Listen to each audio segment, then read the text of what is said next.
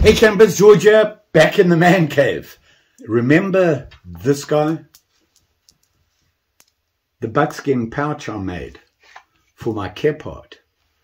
Well, I had some left over.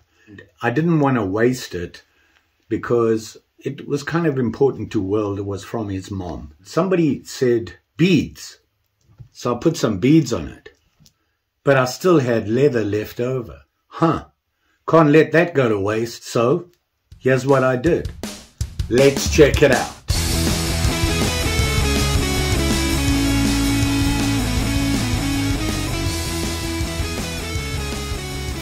So here I was just, I had some thoughts in my head about uh, what the bag should kind of sort of look like, what I'm going to need, that sort of thing. I had to plan it because of the leather that I had left was bits and pieces. Here you can see I've put the backing on. I just glued it with some uh, leather glue just to hold it while I worked with it. It really helps when you're sewing pieces together and things like that. So I had it all marked out and now I'm just punching out the sewing holes. Had to go all the way around the whole edge, just cleaned it up, burnt off the ends and all that good stuff. You all seen that before.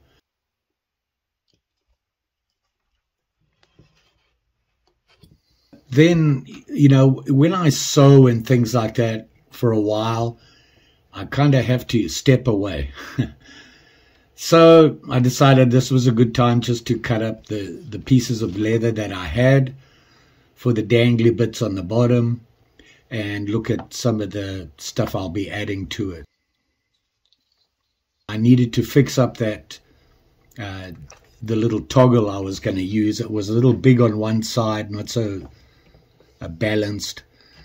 So I grabbed one of my modded Opinels, uh, actually the uh, cotton sampler. I didn't think it would work. It actually worked as a, a whittler. Not very well, but it did the job.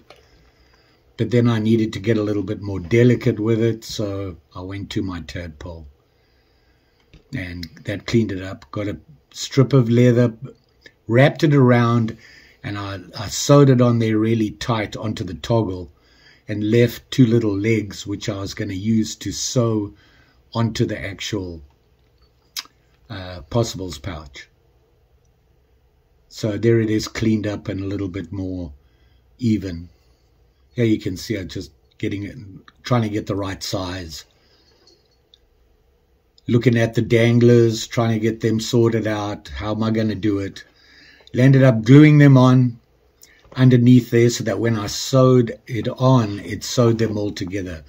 There you can see I've sewed the uh, the front on.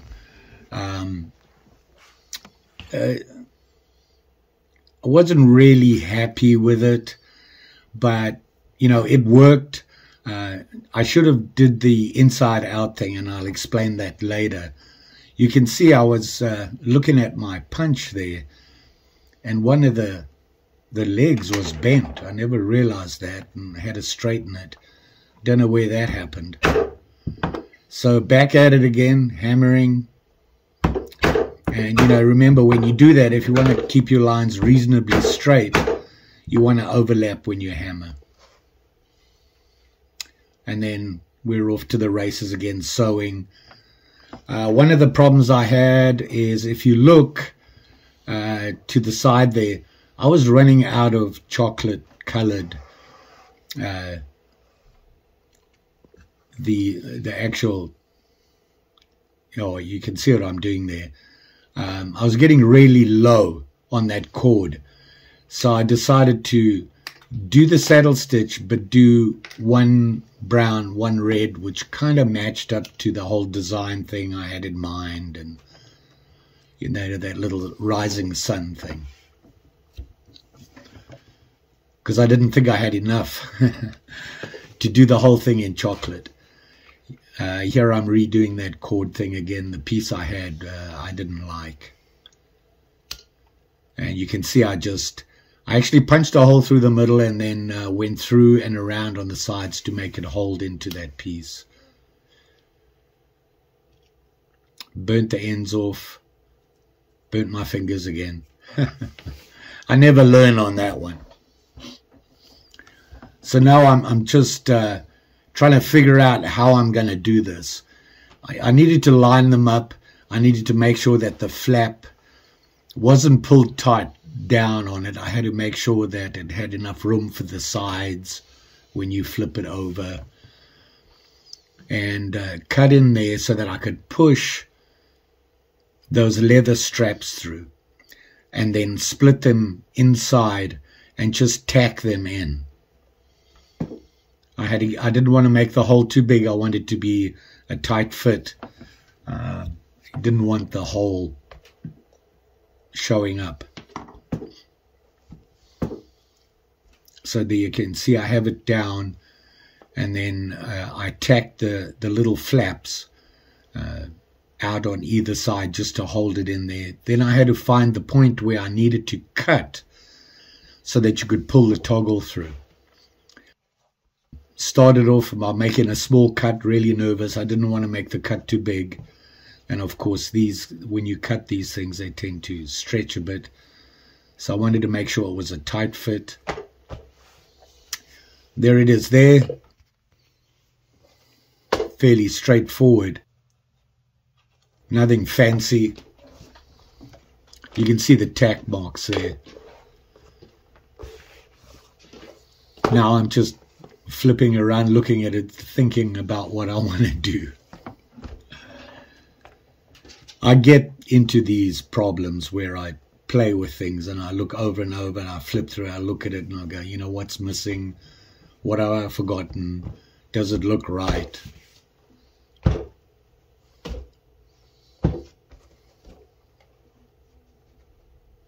You can hear me talking to myself.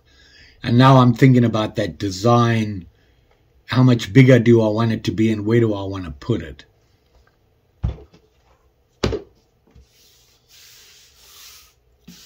struggling with that. Uh, so I went and I decided I remembered I needed to have, yeah, got to have them things to hold that on. Put over your shoulder. It's no good just being a pouch. And it's not going on a belt anything. So I needed to have uh, the straps on there and it took me a while to figure out the pieces of leather that I had left. I kind of pulled them out, got some strips, made sure they were long enough, just clamped it together like you see. Here I put the, you can see I put the beads on. I just wanted to show that. Now I wanted to make sure that the pieces I had were actually wide enough. They, uh, I decided on just over an inch would be enough. And after dealing with that, uh, stepped away again and back to painting.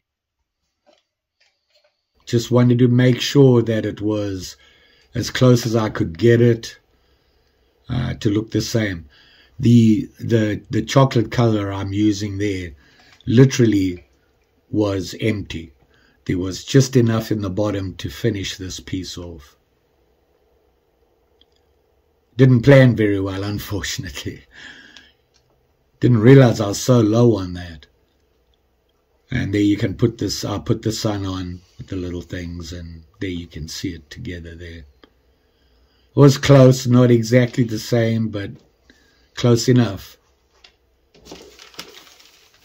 Back to those straps. Now, I did the same thing again. You can see I've glued them to each other.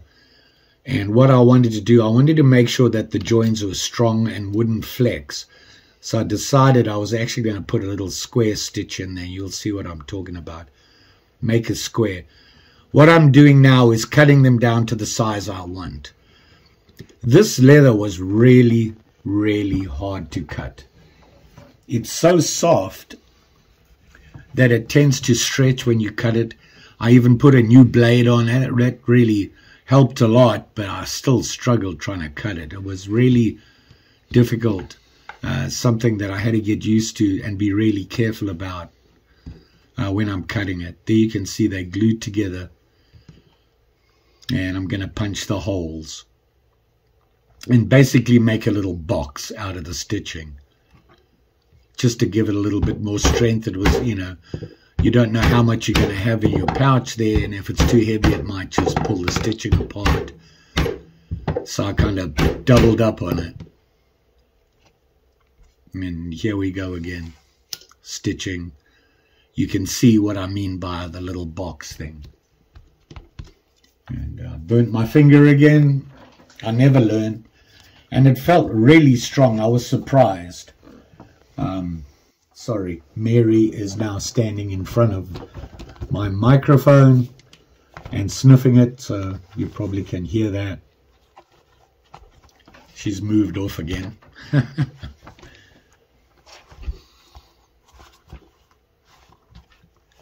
Just checking the stitching, stitched it together. Same thing, did the box stitch again. And uh, you can see it there testing the strength in it, making sure it's not going to fall apart. Actually read up on how low they carried it. And they actually wanted it fairly low. Nothing in it, but hey, uh, we'll fix that. Then I thought I've still, I need to do more. And I read up about what they actually carried in their possibles pouches. And there were a couple of things, and I was thinking, I got leather left over. I want to use it. Let me make a little pouch knife, make a, a little utility knife for him, her, whoever was going to use this. These two knives were actually old kitchen knives I found. Threw them in a drawer. I don't throw anything away that's sharp and shiny, so decided on the bigger one. The tang on that little one was kind of weird. I've never seen that before. This one seemed to fit the bill. Because it was such a small pouch I was making, I needed to reinforce where the blade, the sharp blade edge, was going to be in the pouch. Otherwise, it would just eventually slice through the stitching and uh, the leather. So I got a thicker piece of leather and just cut out the shape of the blade where it's going to sit in the pouch. Glued it on there. You can see me lining it up here. You would normally do this with a really a big knife where you're using heavy leather and you want to preserve that the pouch. You don't want it cutting into your stitching and stuff like that. So now, because I got a knife, I didn't want to just put a, a regular handle on and leave the knife the way it was. It needed to be more handmade kind of knife would be something that he would have made for himself to use uh, for camp duties, kitchen duties, that sort of thing, light duty stuff. So I decided to slice this thing in half so that I could have the tang in there. And here I'm just lining everything up. See how I wanted it. Because uh, I didn't just want to glue it. Uh, nervous about just using glue. The handle might fall apart if you start battening or something with it. Or you drop it. So I wanted to put pins in it. Uh, just to secure it a little bit better than just glue and I have these pins. Wasn't sure if they were going to be long enough or short enough or whatever. So what I did was I drilled one side, then put them together and drilled through to kind of sort of get it straight. Like I said, kind of sort of. And then same thing on the other side, using good old elbow grease. Making sure everything lines up now the way I want it and then marking it out because as you can see here I just used a, a chisel and just gouged it out a little bit so that the blade would sit in there and there wouldn't be a gap that was the theory anyway yeah sometimes it works sometimes not so much the uh, pins were wouldn't fit through the uh, the tang so I had to just make the holes a little bit bigger, get it to fit. I wanted snug in there, so Got a good, nice, snug fit in there. Now I'm making sure it's all going to go together in one piece before we start gluing things and all that good stuff. One thing I should have done, and normally I would do this, is work on the blade before putting that handle. I didn't, I just was on a roll. Got some JB Weld, mixed it up. Love that stuff. It dries really hard. It's pretty strong. Um, learned that from making walking sticks. And just put some in on the wood, both sides, on the steel.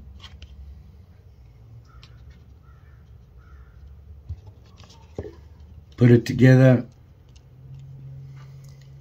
and just put some clamps on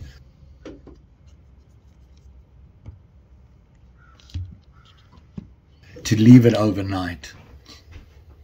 And here I am the next morning, hoping that it stayed together. like I said, kind of, sort of, there was still a bit of a gap there, but it was in there nice and tight. And I have my basic knife and handle. So now I wanted to even out the handles because when I cut it in half, I wasn't dead center. So I just wanted to make sure that it was a little closer to center on the, the handle, which meant Yep, sandpapering it down on one side to get it about the same as the other. And there you can see it there. See the gap there? I'm going to have to fill that gap. Now I started to work on the blade. I wanted to make sure that the blade didn't look like a modern day kitchen knife blade. So I decided my favorite blade style is a drop point. So we'll work on that. Then I wanted to get rid of that kitchen knife look where it has it, uh, you know, you can actually see where the sharpened blade is. You can still see it slightly there, but it's not as obvious. I'll work on that a little bit more just to make it a little, little bit more handmade-ish. And uh, he has that pouch. I glued it together and put the little dangly bits on. I was they were too wide. So I cut them all in half to make them a little bit smaller. Cut off the excess down there behind it. Made sure the knife fit in the pouch before I sew anything together.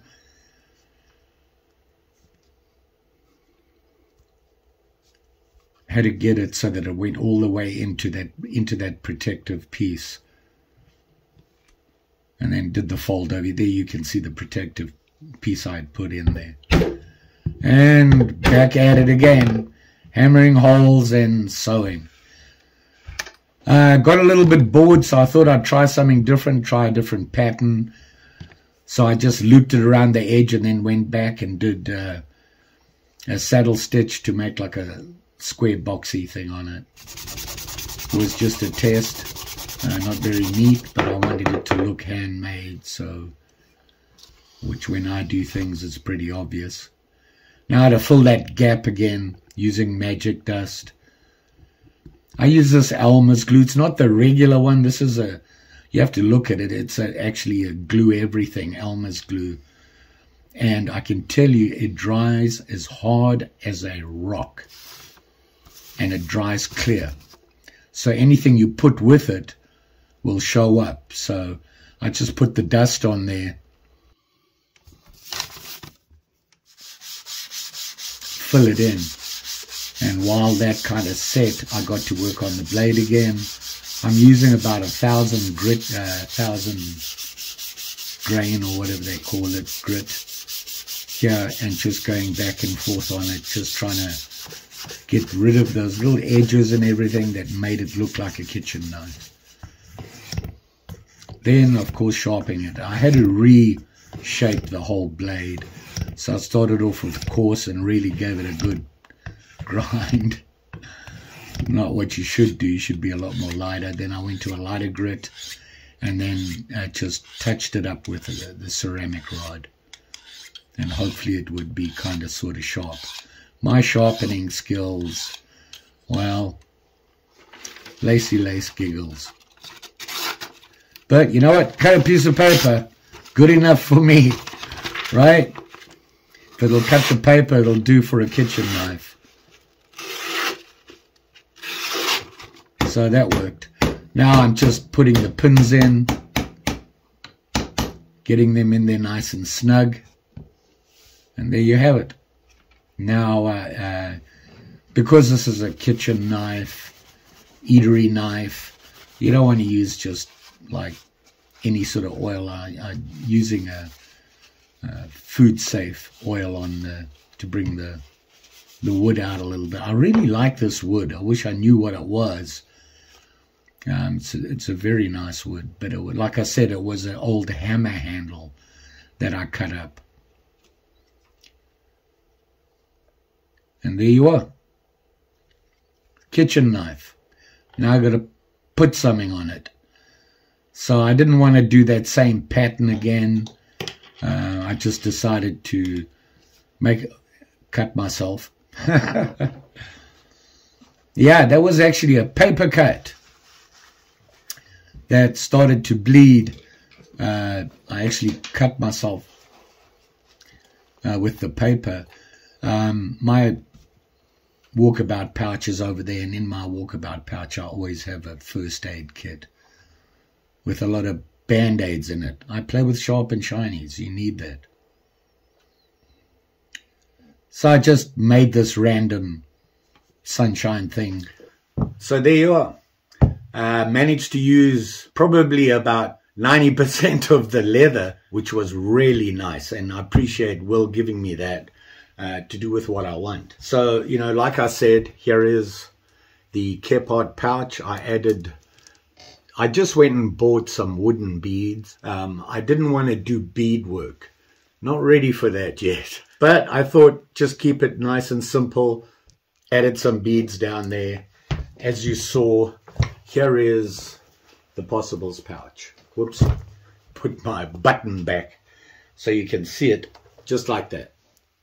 And as you saw, the back here, this is different leather.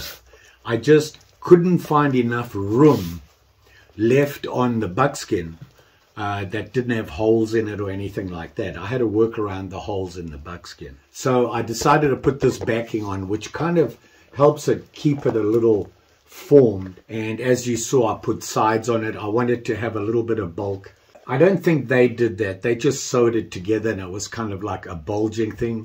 And I thought that'd be kind of uncomfortable.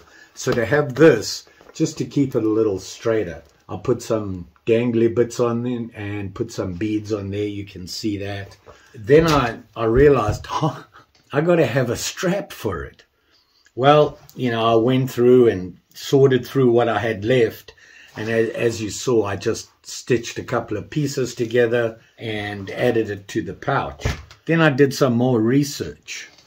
You know, I, I added the the same the same picture. I wanted these to be at least close to make it like a, a little complete kit. Still had leather, leather left over, so I went online and did some reading up, and I thought, I wonder what they put in those pouches. And by the way, they referred to them as possibles pouches. Pouches that we carry when you're out trudging around the outdoors, you should have a possibles pouch, and we keep all our survival stuff and things, fire making kits and that sort of thing, in a possibles pouch. And I didn't know where the name came from, and I, I believe that's they just called this a possibles pouch. You know, I made the little thingy there.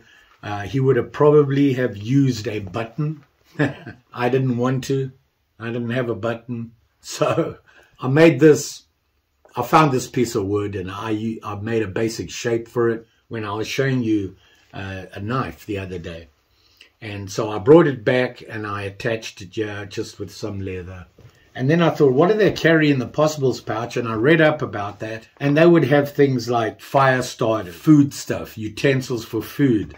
So I had carved this while at the Winter Symposium and what I did was I just darkened it a bit right now. I went over and just burnt the edges and wiped it down to give it a bit of bite so you can see the carving a little bit better. You can see it there.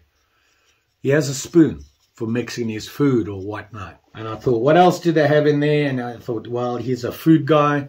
He wants food things. And I had this, this blade was an old kitchen knife that I had that the handle had broken. I never threw it away. I threw it in the drawer and I found it and I thought, huh, maybe I can modify it a bit to look at, make it look a little bit old and handmade. And I had this piece of wood, which was from an old hammer. So I cut that off, cleaned it up, put it on here. You can see I put uh, pins through. I did glue it and everything like that. Kept it very plain. Kind of changed the shape a bit uh, try to get rid of the obvious kitchen knife look just to make it look a little bit raw. And this would be his, his eating knife, food prep and things like that. And I thought it would need a pouch and I found some more leather and put this little pouch together, very basic little pouch. There it is there, you can see. Just a, basically a slip uh, with some leather flappy things on the back there and just put a little sunshine there. Uh, reading a little bit more was they used to trade a lot. These these mountain men would trade with the local natives, the Indians. They would have carry in their possibles pouch another little pouch that they'd keep things trinkets or things like that that they could trade with the Indians for stuff that they needed. So I made a little pouch and just prettied it up. It would be his pouch.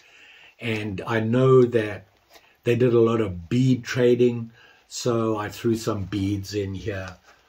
You can hear them in there. Something I tried, I wanted to try out. If you look at the stitching, you can't really see it. I turned the bag inside out, stitched it, and then turned it back around just to see how it would work.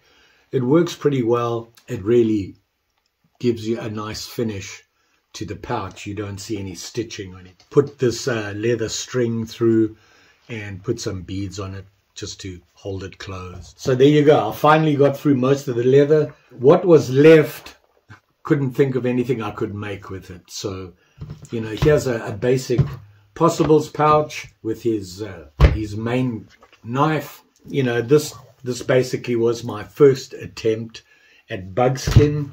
It was a learning experience. This leather is unbelievable. It is so soft and yet so strong. Uh, you can't tear this stuff. I struggled to cut it. Uh, unbelievable how well it works. And I can understand why they made all their clothes out of buckskin. Uh, it just makes sense. It's so strong, comfortable. You'd make a jacket out of it. They'd make a big jacket out of it. So really, uh, a good learning experience. Don't forget, like, share, subscribe.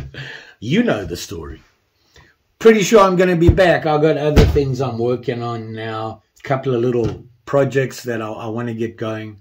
Uh, I want to do another Opinel mod. I got myself two Opinel nines, and I um I don't know whether to modify the two nines or make one out of two. Yeah. Uh, having worked on this, put something in my head, came up, and I thought well, that would be a good idea. So I think I'm going to do that. Uh, that'll be coming up. So there you go. Possibles pouch for them mountain men. Great project. Uh, took a long time to do. It took me a while to do it. I kind of worked on it now and again while doing other stuff, which reminds me, uh, you know, the knife doctor ambushed me on a live feed, challenged me to an EDC pocket dump. And I was actually working on this at the time and got the alert. And so I looked at his video and I was like, oh, I need to make a video quickly. And then I realized he wanted a live feed on it, something I'd never done before. But I got to tell you, the joy. That was fun and it was so nice to see all you guys jump on and chat, ask questions and that sort of thing. I think I want to do that again. I'm not going to do that much. I, am still learning how it all works and everything. But it was fun. If I do it, then you guys can actually ask questions, talk about things and you know, even talk amongst yourselves. Got to get rid of the spam, guys. I, I figured that out. I'll find a moderator and somebody who could just get rid of the spam stuff while I'm dealing with you guys because it's really distracting. What do you do? You all be safe out there, especially with sharp and shinies. You know the story. Actually, with anything. You saw that actually was an old cut. When I say old, it's a couple of hours old um, I actually cut myself with paper. And I, I put a band-aid on because I, I, my medications I bleed easily. Little did I realize it started bleeding again. So there you go. Fortunately, I have my first aid kit in my my possibles pouch that I carry with me. Might want to think about something like that. Just saying. Thanks for watching. We'll see you again soon. Bye.